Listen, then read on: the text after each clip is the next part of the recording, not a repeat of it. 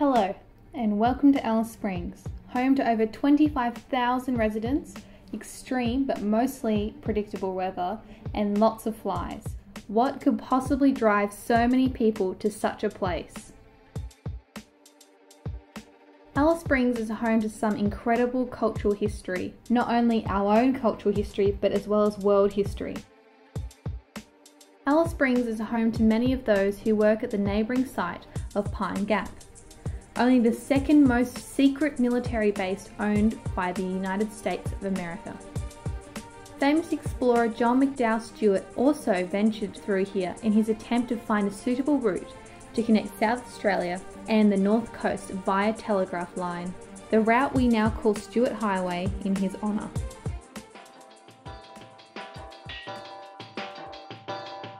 John McDouall Stuart was an inland explorer of Australia and had over six expeditions travelling from the north to the south of the country over his lifetime, and is the namesake of the Stuart Highway, a 2,800 kilometre highway from Adelaide to Darwin.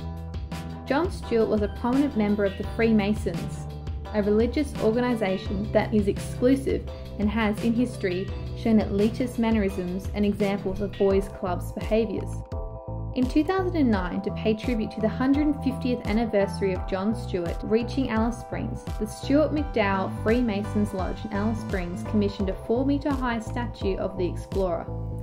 The gift, however, was not perceived in the intended light.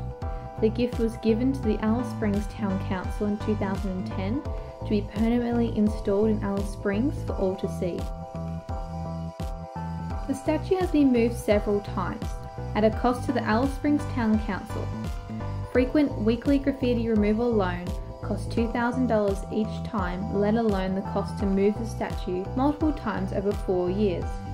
The park is a common meeting point for local people from Alice Springs, including the Aranda people. Today we get to hear from people who helped commission the statue, people who oppose the statue, as well as the Freemason group who hold John Stuart in the highest regard.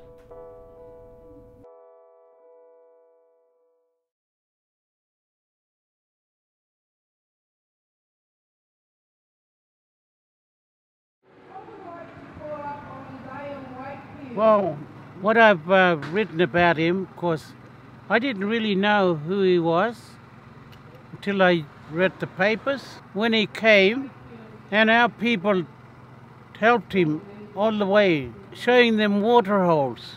And the promise that he was given is to come explore Central Australia. By exploring, he met a lot of Aboriginal people and he was feared and they were feared too. And that's how a lot of people didn't know what white white person was, and you know, and start pulling out their spears and things, and they saw him as a good man, you know, and they went along with him, and they were scared because there was animals they didn't see a horse, they didn't know that the horse carried things for them, you know. He went to this other country, to Mount Hay, and and some of those people were there with him probably were there the ones who got shot you know? They had two misunderstanding through I don't know which government or what leader government he came through to kill our people. And why why we having him a statue standing here with the gun or standing in the gun in the middle of the town which the people of this country came in peace with him to show him water holes and places. I'm glad he's wearing a dress today and to representing us. But him standing here, I think it's better for other people. It's not nice for Aboriginal people. We see enough people running around with guns, and I don't think this should be standing here. If he had a, he had no guns. If he had a book in his hand, like him reading about the stories of where he traveled. That could be nice, not with a gun in his hand. It looked like a war zone that he just came in from the war, from killing people. That's what I see it as my own for Aboriginal people. We need to get that gun away and give him a book. I should give him one of my book, a copy of my book. to put it up there so he can read about it. You know, it's shocking. So that need to be removed somewhere else. We remove it to a desert park for tourist attraction. So how long have you been in Central Australia? Yes, we'll come the end of um, um, August, um, which is another six months' time. It'll in fact be 40 years, so it'll be a great celebration. Uh, I arrived with my then wife, um, and it was the Henley on Todd weekend, so it was fantastic to be able to, to be blooded into Central Australia that way.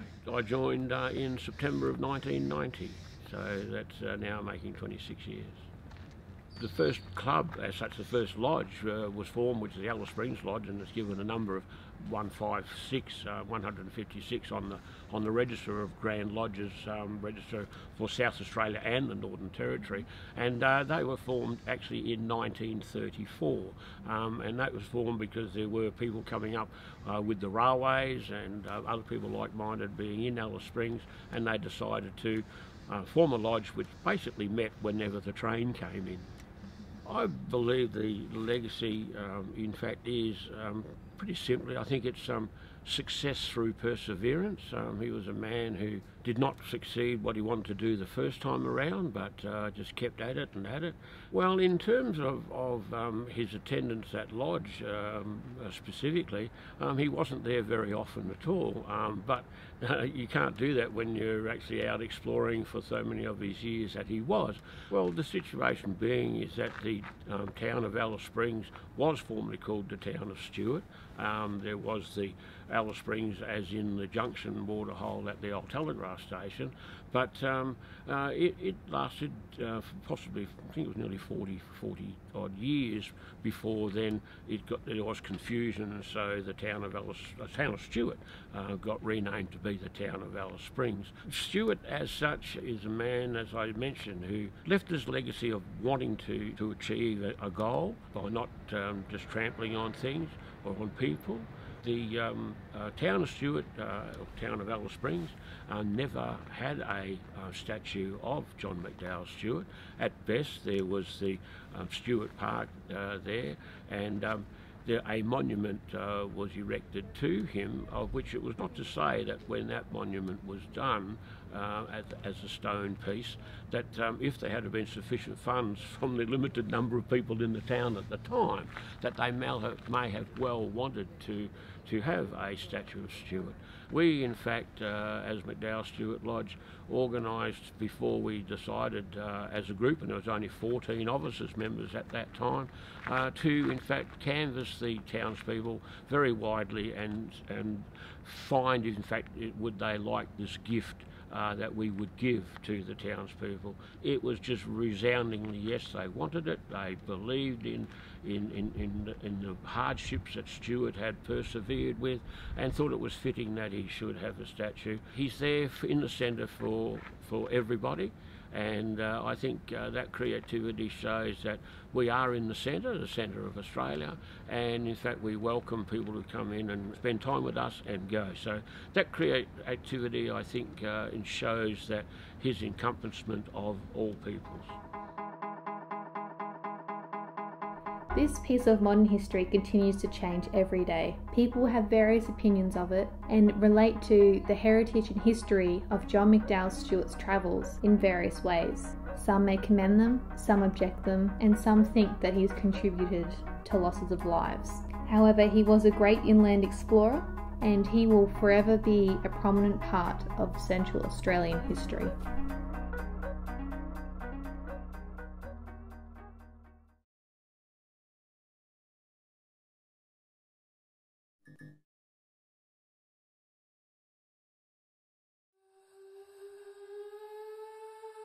One of the biggest military surveillance bases in the world, the existence of Pine Gap facility is nothing secret, especially to the residents of Alice Springs, to which it remains its biggest source of income and a controversial topic. The Pine Gap Defence Base is a facility run by Australia and the United States in a joint defence operation. The base serves as a ground station for the incoming data collected by numerous satellites in orbit, responsible for the interception of global satellite communication. Among much of the controversial work done here was the infamous operation that directly influenced the drone program of the United States in the Middle East. First established in 1966, it was operational by 1970, playing a key telemetric role in the Cold War. The military base has not only had a large economical impact on the town, but a cultural impact also, bringing many American families to the Australian outback. Uh, well, I've lived here. I moved here in 2004 for the second time. I was born here, and then I moved away. So I returned in 2004, and I lived here for eight years until 2012, and came back in 2014. I've lived in Denver, Dallas, and Alabama, so a few places, but spent most of my time in Denver. If I had to call one place home in like the world, I'd say Alice Springs is my home. So yeah, like my favorite place in the world. Yeah. Oh, I thought it was cool. Like I'm, I've got Native American, like a lot of Native American blood, so I find it like really interesting and yeah, like the indigenous cultures really appeal to me. I like not having to scrape ice off my car windshield in the morning, but yeah, like it's a dry heat in Denver during the summer. It's hot. It's like the same, pretty much the same. A lot warmer in the winter. And do you feel accepted in Alice Springs? Do you feel like the Alice Springs community accepts um, yourself and other Americans who are part of Pine Gap? I feel like if you like embrace the culture instead of trying to like make everything Americanized and like just accept what it is, I guess that's that's when you get accepted. And I mean, a lot of Americans find that they don't like really do much here or whatever, but it's only because they don't embrace what's going on. So July 4th is the main one, and I guess like a lot of people from the base will meet up out there and have like barbecues and stuff. But there's, I mean, you guys pretty much celebrate everything we celebrate. There's not really a difference in the culture. It's just there's a barrier obviously, but it's it's not that much different. Like I don't order food from America. I mean, like food here is fine, but I know a lot of Americans who do do that. Mm-hmm. People from the base meet up and play football, like on Saturday mornings. So there's like a small group of people, but not really. It's not like huge, obviously. Yeah, I, I found it like when I first got here. It's obviously different. I was only like a young kid, so I love. I, I play footy and like I played cricket. So yeah, like I, I haven't found it hard to adjust at all. As long as I got to play around and stuff, it didn't matter. Alice Springs is like a really cool place if you you know like get, go do stuff and like meet people. The, the best people in the world live here, so. Uh, yep, I definitely think the American people are welcomed um, by the majority of Alice Springs. Um, obviously, there's a few exceptions. All their families move to town, and obviously, when new people move to town, they will bring something, and their partners and their families can bring stuff to the town. I heard the other day that before Pine Gap, there was no like Halloween or anything, so obviously things like that were introduced. The Americans are very powerful people, so I think that yeah, it probably will continue on for quite a while, considering how long it's already been around. If they are decommissioned, then we won't have that. Obviously, we lose a lot of our residents, and also I know a lot of people are against the stuff that they do, um, even though it's quite private. They make up a lot of the population, so um, if that many people left, then I think it would have a huge impact on the town. I definitely think that um, it could possibly become a heritage site people would be quite interested to know what actually went on there if you could find it out if it became a heritage site. If the Pine Gap Defence Facility was to ever be decommissioned, it would be a huge loss of economic, political, social, and infrastructure for Alice Springs and the rest of Central Australia. Pine Gap is a part of global heritage and has become of our town heritage as well.